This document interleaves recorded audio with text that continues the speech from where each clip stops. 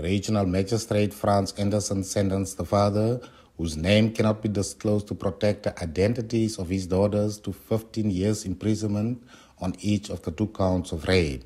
He ordered that 10 years the 15 years imposed on count 2 of rape run concurrently with the 15 years sentence of count 1 of rape.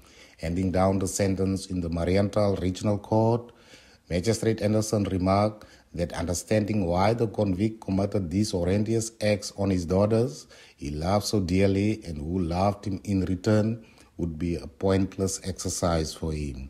Sentencing the convicted people, such as the accused, he said, is the only instrument to his disposal in his never ending war against crime.